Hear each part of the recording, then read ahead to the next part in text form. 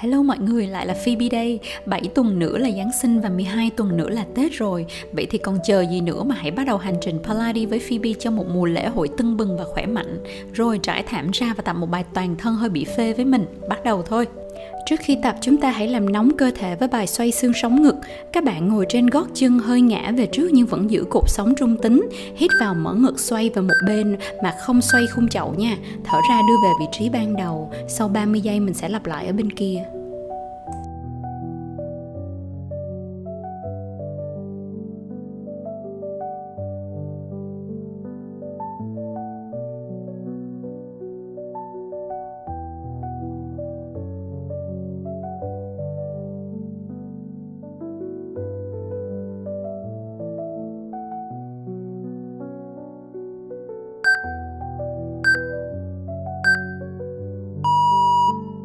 Rồi và bây giờ các bạn lặp lại ở phía bên kia.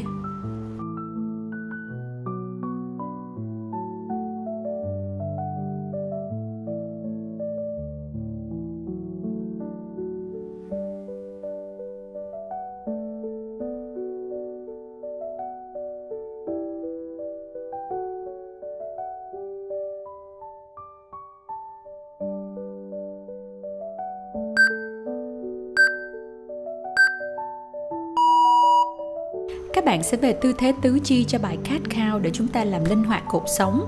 Thở ra cong người từ xương cụt lên tới đỉnh đầu và hít vào giãn ra cũng từ xương cụt lên tới đỉnh đầu. Các bạn chú ý bóc tách từng đốt sống một ra chậm rãi thôi nha.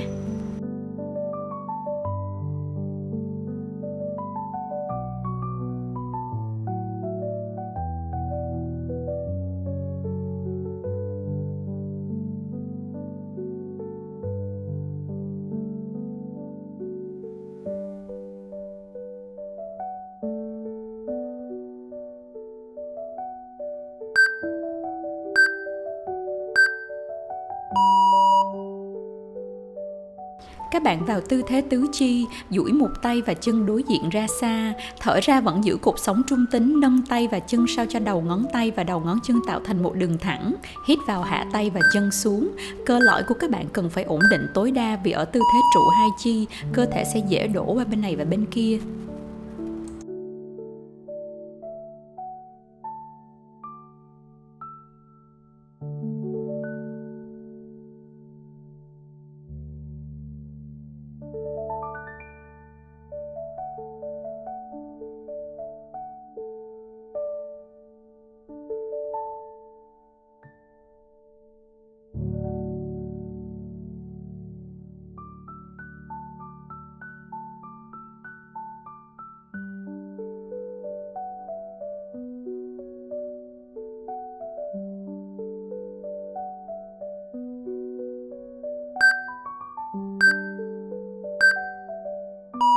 Các bạn vẫn giữ chân thẳng, gập cổ chân, thở ra nâng cả cẳng chân lên mà không thay đổi vị trí khung chậu. Hít vào hạ chân xuống và thở ra đưa gối còn lại về phía ngực. Hít vào lại về tư thế ban đầu. Các bạn cần sử dụng 4 nhịp thở tổng cộng cho bài tập này nha.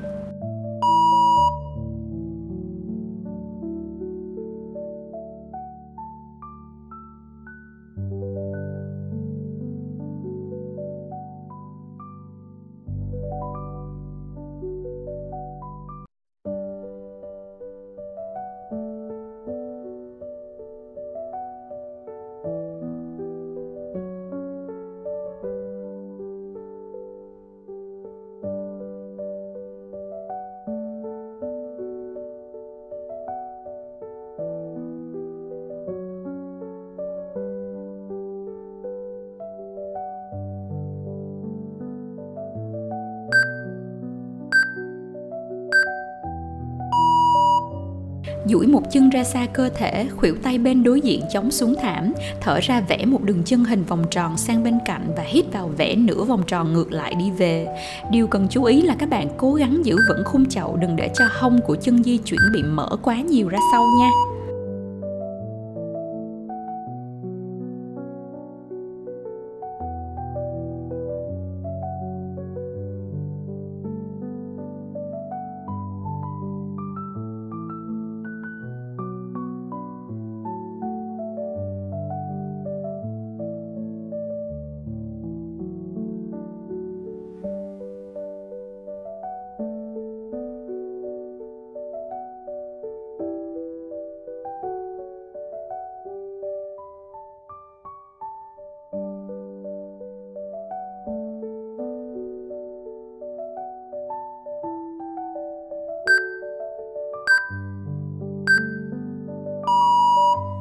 Rồi chúng ta sẽ lặp lại ba động tác vừa rồi ở chân bên kia. Các bạn duỗi tay còn lại và chân đối diện ra xa cơ thể, thở ra nâng tay và chân lên tạo thành một đường thẳng mà vẫn giữ cho cột sống trung tính, khung chậu trung tính.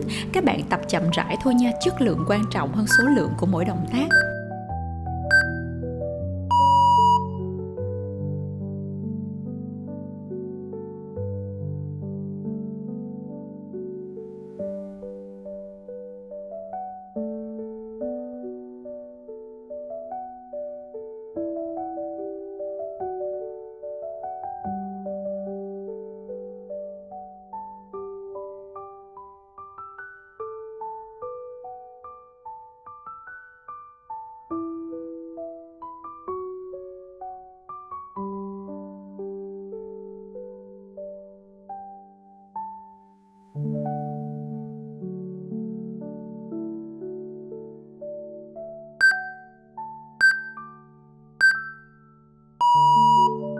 Rồi các bạn vẫn giữ chân thẳng, gập cổ chân, thở ra nâng cả cẳng chân lên mà không thay đổi vị trí khung chậu. Hít vào hạ chân xuống và thở ra đưa gối bên còn lại về phía ngực.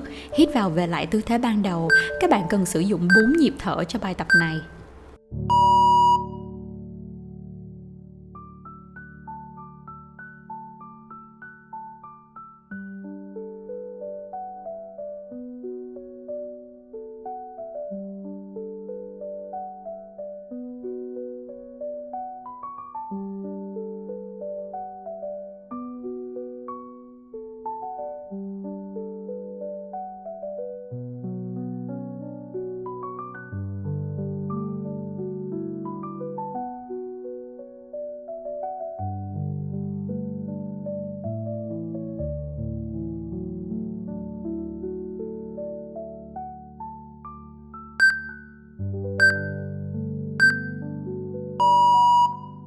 Các bạn chống khuỷu tay bên đối diện xuống thảm, thở ra vẽ một đường chân hình vòng tròn sang bên cạnh và hít vào vẽ nửa vòng tròn ngược lại đi về. Điều cần chú ý là các bạn cố gắng giữ cho khung chậu đừng để cho hông của chân di chuyển bị mở ra sâu quá nhiều.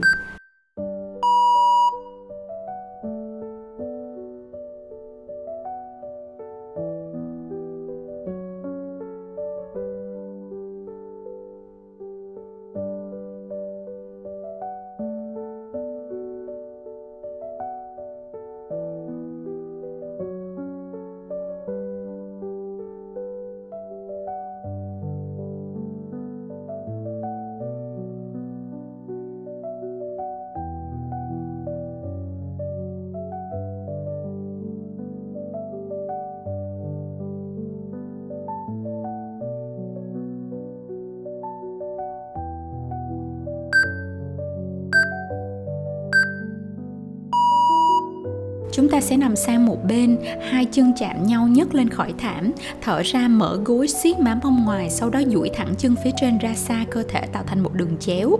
Hít vào gập gối chạm các ngón chân rồi sau đó đóng gối trở về lại tư thế ban đầu.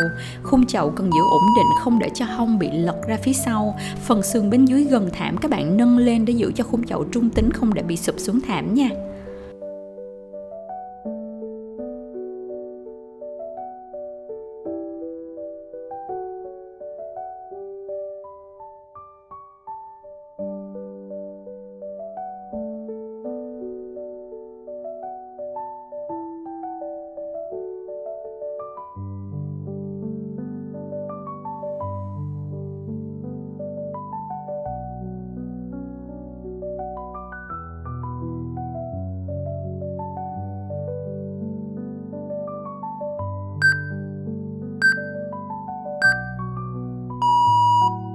Chân dưới các bạn cong nhẹ đặt thoải mái xuống thảm, chân trên duỗi thẳng ra xa cơ thể và chúng ta sẽ xoay tròn chân bên trên.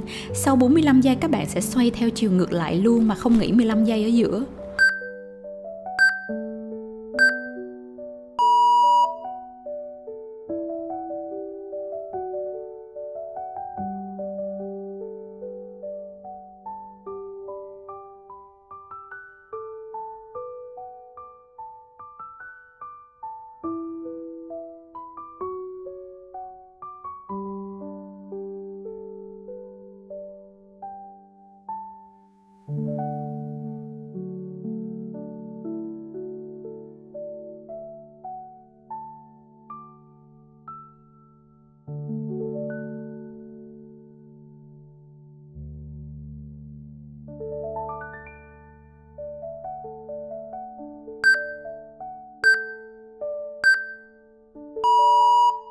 Rồi và bây giờ chúng ta sẽ xoay theo chiều ngược lại.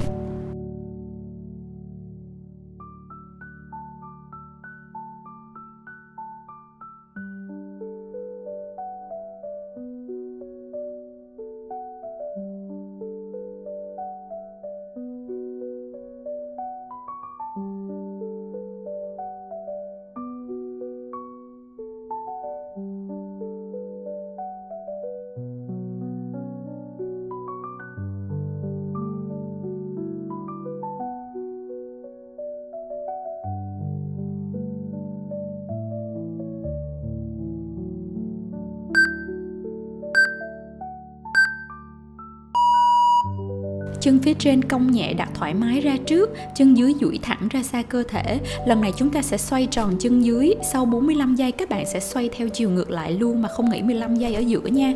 Các bạn tưởng tượng như dùng ngón chân cái vẽ vòng tròn vậy đó. Phần sườn phía dưới gần thảm nâng lên để giữ cho khung chậu trung tính, không để bị sụp xuống thảm nha.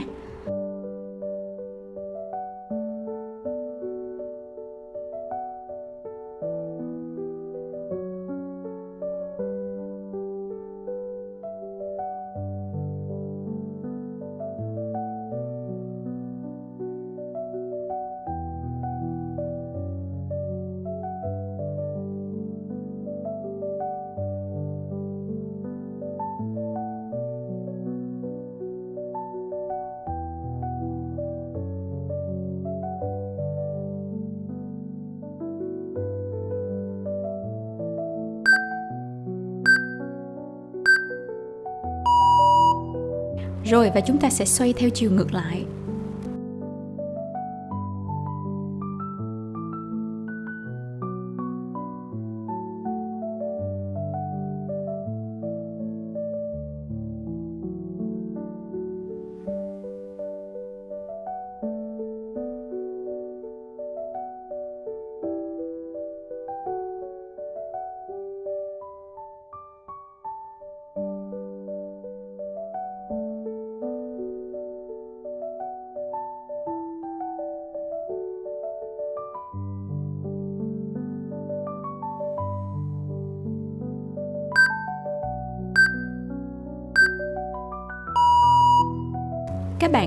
Về một bên trên thảm, cánh tay ở dưới thảm đưa ra xa một góc 45 độ. Tay càng xa thì bài tập càng hiệu quả nha. Cánh tay trên vòng nhẹ ra trước ngực, hít vào hướng khuỷu tay về phía mạng sườn và thở ra từ từ duỗi thẳng khuỷu tay ra mà không để cùi chỏ bị khóa cứng, gây hại cho khớp.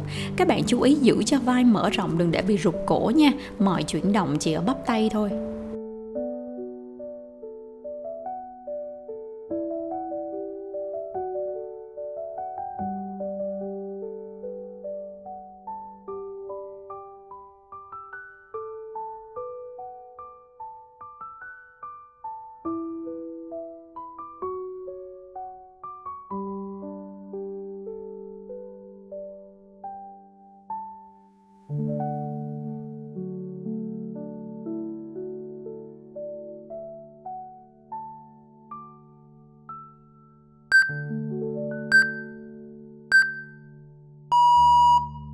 Bài tiếp theo các bạn ngồi sang một bên, gối mở rộng với cổ chân dưới móc phía sau gót chân trên, hai chân đặt trước hông, hít vào chóng bằng tay trước sau đó chuyển lực xuống thân dưới siết hai đùi trong lại với nhau, nâng cả thân người lên hình cây cầu, bụng siết chặt rồi thở ra từ từ mở gối hạ hông xuống thảm mà không để bị đổ xuống mất kiểm soát nha.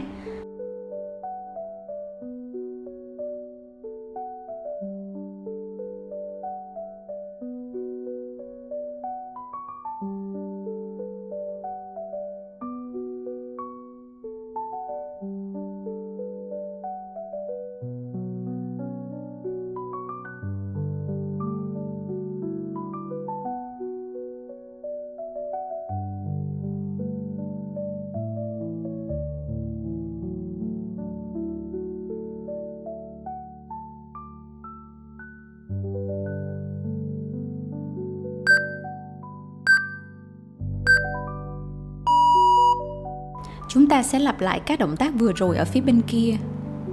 Rồi hai chân chạm nhau nhấc lên khỏi thảm, thở ra mở gối siết má mông ngoài, sau đó duỗi thẳng chân phía trên lên ra xa một đường chéo, hít vào gập gối chạm các ngón chân rồi sau đó đóng gối lại trở về tư thế ban đầu.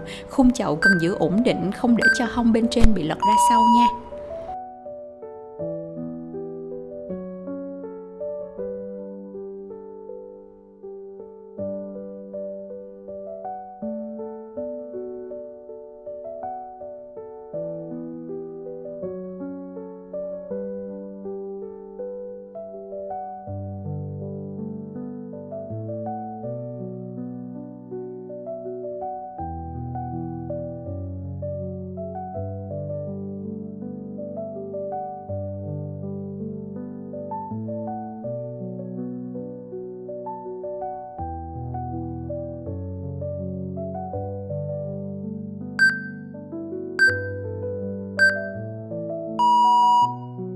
Chân dưới cong nhẹ đặt thoải mái xuống thảm, chân phía trên duỗi thẳng ra xa cơ thể và chúng ta sẽ xoay tròn chân bên trên. Sau 45 giây các bạn sẽ xoay theo chiều ngược lại luôn mà không nghỉ 15 giây ở giữa nha.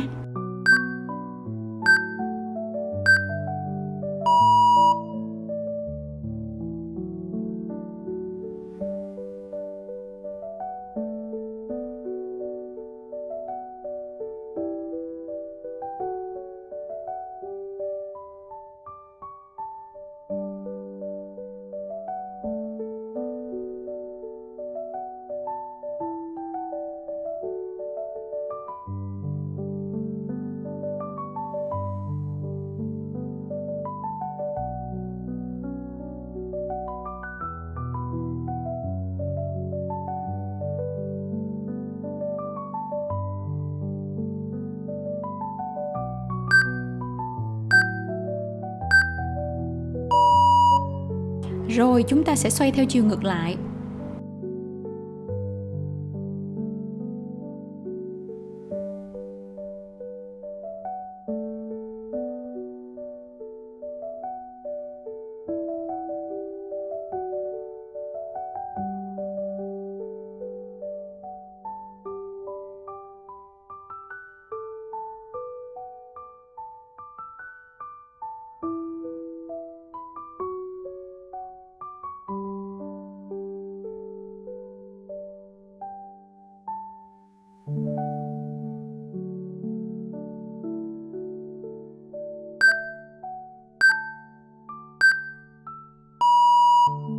Chân trên cong nhẹ đặt thoải mái ra trước mặt, chân dưới duỗi thẳng ra xa cơ thể. Lần này chúng ta sẽ xoay tròn chân bên dưới và sau 45 giây cũng như vậy các bạn sẽ xoay theo chiều ngược lại luôn mà không nghỉ 15 giây ở giữa. Phần sườn phía dưới một lần nữa nâng lên để giữ cho khung chậu trung tính, không để bị sụp xuống thảm nha.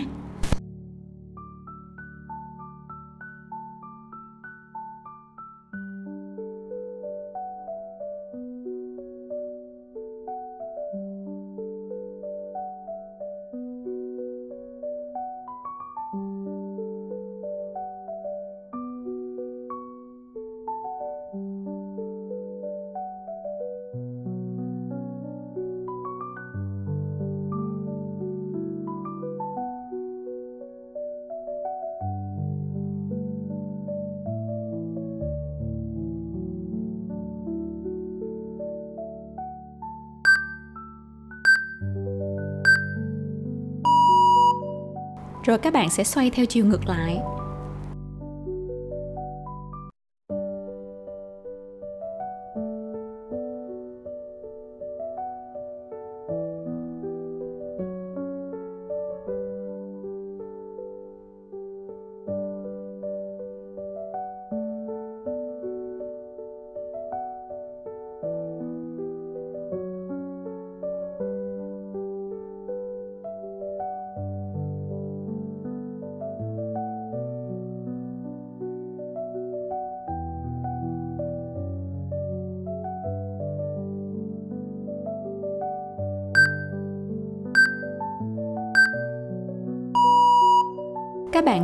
Về một bên trên thảm, cánh tay ở dưới thảm đưa ra xa một góc 45 độ, với tay càng xa thì bài càng hiệu quả.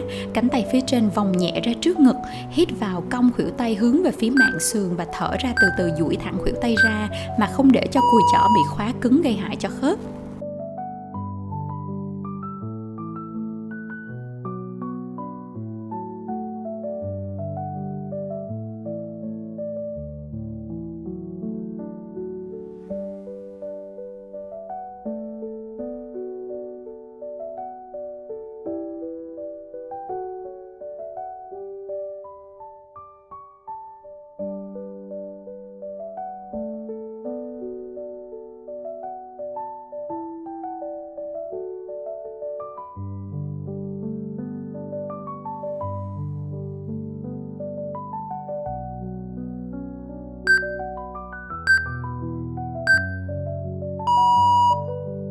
Bài tiếp theo các bạn sẽ ngồi sang một bên, gối mở rộng với cổ chân dưới móc phía sau gót chân trên, hai chân đặt trước hông, hít vào chống bằng tay trước sau đó chuyển lực xuống thân dưới siết hai đùi trong lại với nhau, nâng cả thân người lên hình cây cầu, rồi thở ra từ từ mở gối hạ hông xuống thảm mà không để bị đổ xuống thảm mất kiểm soát nha.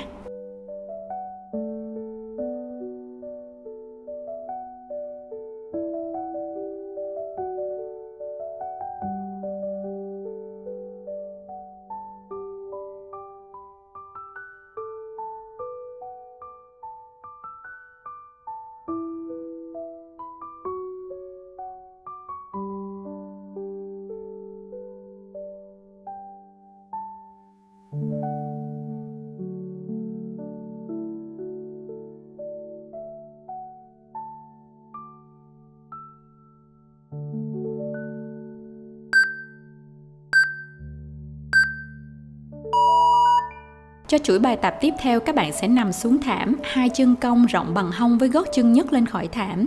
Thở ra nâng hông lên cây cầu sao cho gối và vai tạo thành một đường thẳng. Siết má mông ở trên cao và thở ra hạ hông xuống.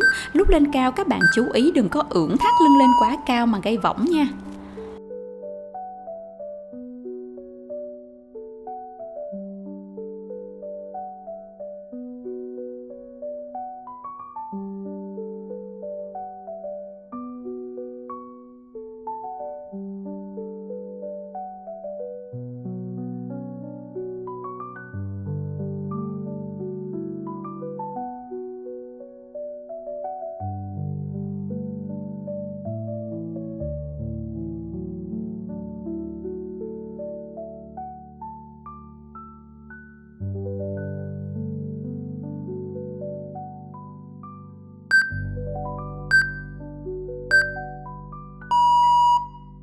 Các bạn đưa hai chân lên tư thế cái bàn, hít vào di chuyển hai chân sang một bên, thở ra giữ nguyên vị trí gối, duỗi thẳng chân ra xa không bị mất kiểm soát ở khung chậu. Hít vào cong gối vào vị trí cái bàn rồi di chuyển qua bên còn lại, thở ra là duỗi thẳng chân qua phía bên kia.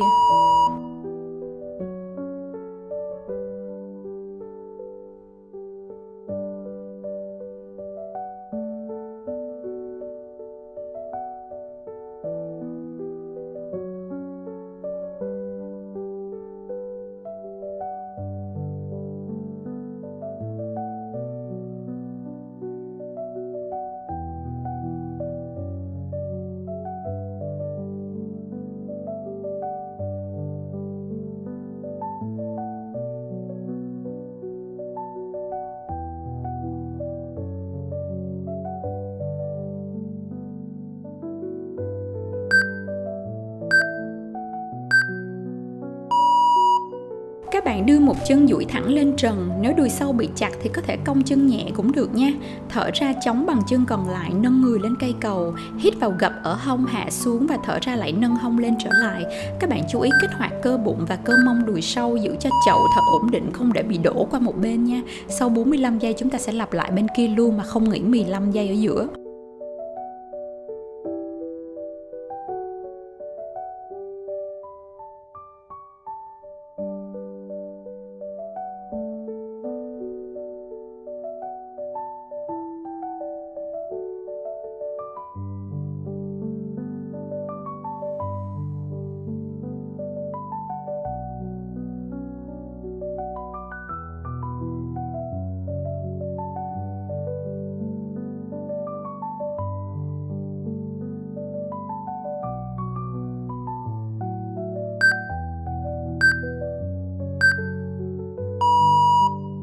Rồi các bạn sẽ lặp lại ở chân bên kia.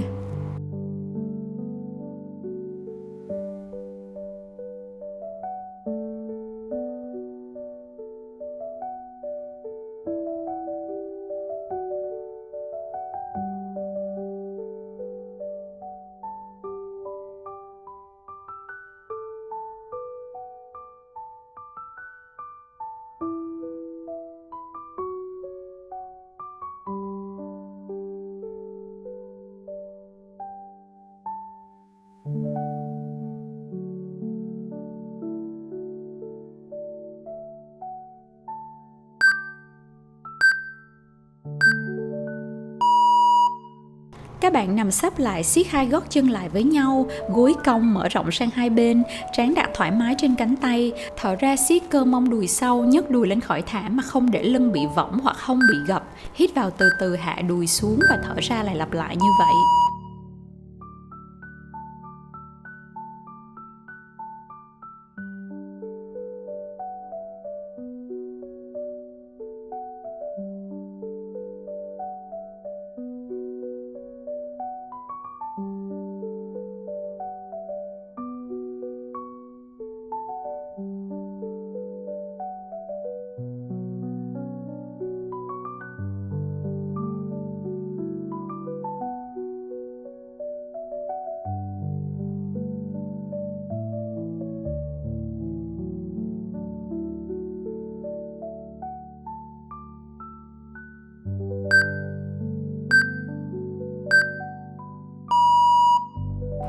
Nằm sắp duỗi hai chân ra xa cơ thể. Hai chân có thể song song hoặc hơi xoay nhẹ ra hai bên mép thảm nếu lưng dưới cảm thấy khó chịu.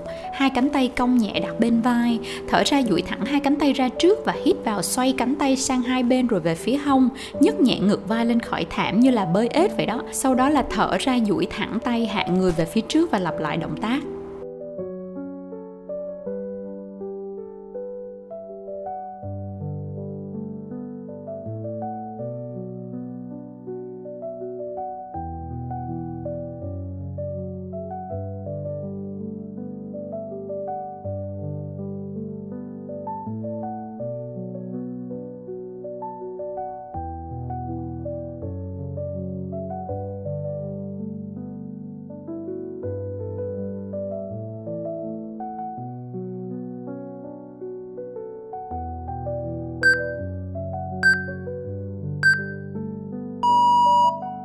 Tập cuối cùng của tư thế nằm sấp này là bơi. Các bạn duỗi thẳng hai cánh tay và hai cẳng chân ra xa, hít vào 5 nhịp và thở ra 5 nhịp đồng thời ổn định cơ lõi và chỉ di chuyển cánh tay và cẳng chân.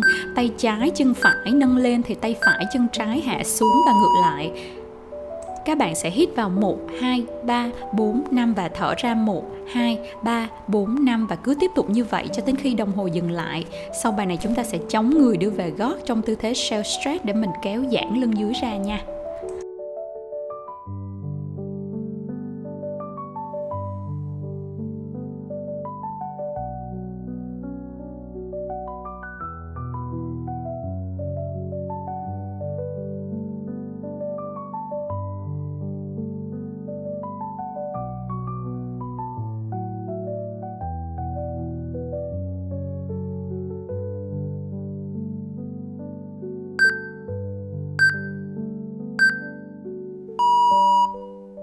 Rồi các bạn dùng bàn tay chống người lên và ngồi về phía gót chân nghỉ ngơi một xíu.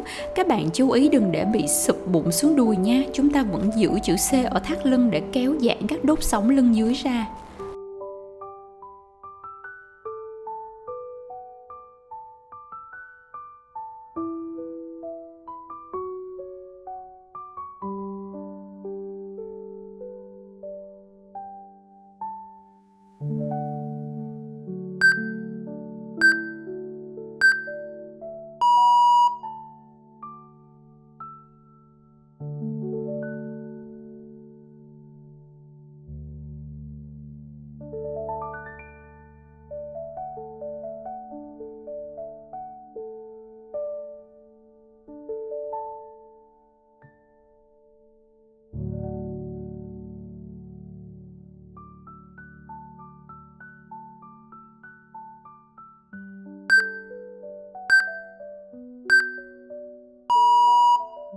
Vậy là bạn đã hoàn thành bài tập hôm nay rồi. Sorry các bạn, Phoebe đã biến mất quá lâu. Nếu bạn muốn bắt đầu Pilates và thay đổi cơ thể, 7 tuần nữa là Giáng sinh và 12 tuần nữa là Tết, hãy tham gia tập luyện cùng mình. Lịch tập mình sẽ để dưới phần miêu tả và phần comment nha. Hẹn gặp lại các bạn tuần sau. Bye bye!